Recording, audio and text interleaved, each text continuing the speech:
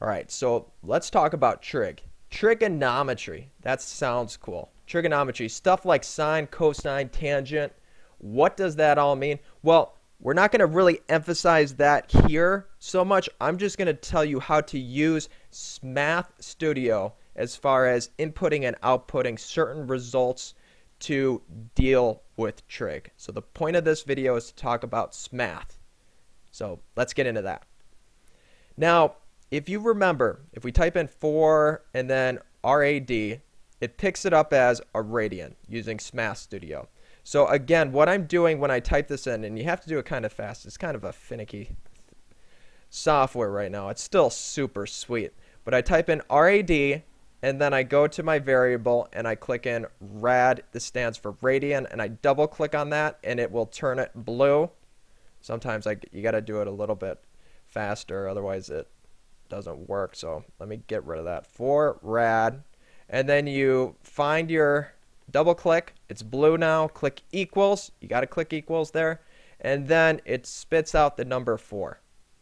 What it's doing is, again, rad, radian, it's a dimensionless unit. So it's just going 4 times 1 is 4.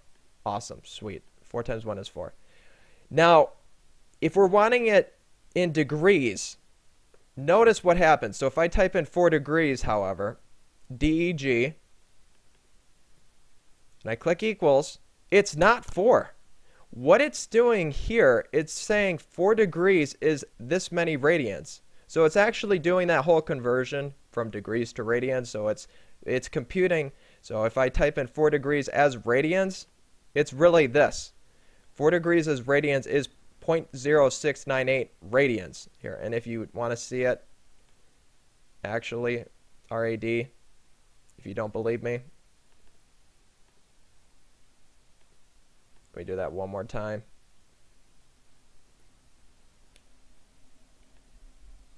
Rad.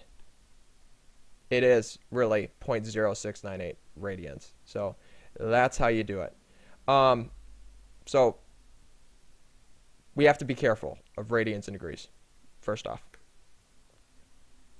When we type in sine of, let's say, 30 degrees. So I click sine and then I write 30 DEG right here. So I type in 30 DEG. I go to degrees.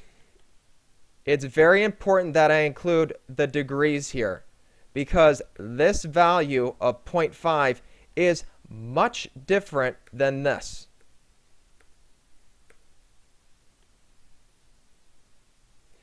You have to include the degrees in SMATH in order for it to compute it correctly. Otherwise, it's going to assume your angle here is, this is radians. It's going to assume that this is 30 radians right here.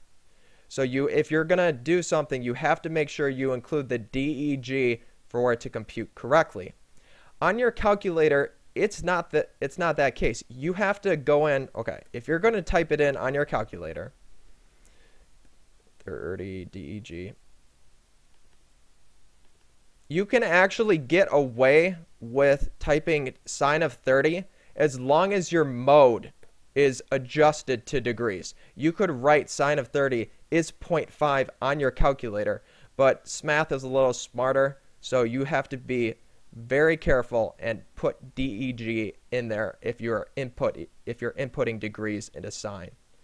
So if you're going to write cosine of 60 degrees, we go DEG. We double click here.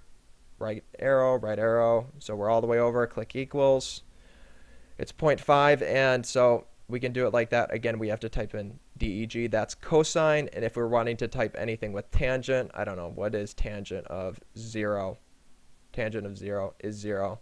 Um, so this is how you deal with sine, cosine, and tangent. Now, in order to compute let's say, an angle. So let's say I wanted to figure out not necessarily what cosine of 60 degrees is, but I'm wanting to do the cosine inverse of 0.5 and figure out how many degrees it is. It typically, you see the notation written in math where you have this negative 1 up top. It's not the reciprocal symbol. It stands for arc cosine. It stands for the arc the measure of your arc. So it's giving 0.5, it's spitting that out. So I'm not going to actually type in cos inverse of 0.5 to get 60 degrees. I'm going to type in, because math doesn't realize that, unfortunately. Actually, I kind of like this more. I'm going to type in a cosine. That stands for arc length of cosine. So if I'm going to type a cos, let's do this again, a cos. I just put an A in front of it. A lot of other programs you could type arc cos, but they do a cos of 0.5. We're going to type in 0.5 right here. And you're like, oh, it should spit out 60 degrees, and it's not spitting. Oh, this is because this is in radians, so I have to type in DEG over to the right. I have to click on this. Again, I'm doing this kind of fast. I have to click on this block box right here. And if I'm wanting to say, well, what's this in degrees? Because I don't really care about radians right now. I want to convert this to degrees. This is my angle in degrees given a value of 0.54. So I'm wanting to, to convert this to degrees. We see here DEG, double click it spits out 60 degrees. So it actually returns to us our angle right here.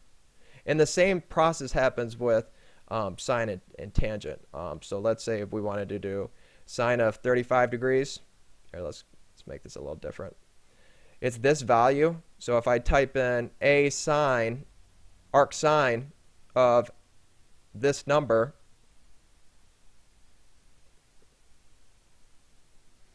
it will actually spit out, well, what 35 degrees is in radians if I click equals now. And then I actually have to write DEG over to the right of it. I double click my unit, click off, and it gives me 35. It's close enough. This number actually goes on for a little bit longer. It's about 35 degrees. It takes it and it snaps it back to what our original angle is in degrees. So that is it as far as how to input these things. Again, with tangent, you do the same thing. You just type in a tan. So I just wanted to go over that real quick. So again, sine that negative one power thing. On SMath, it's a sine. It's arc sine. So that's it.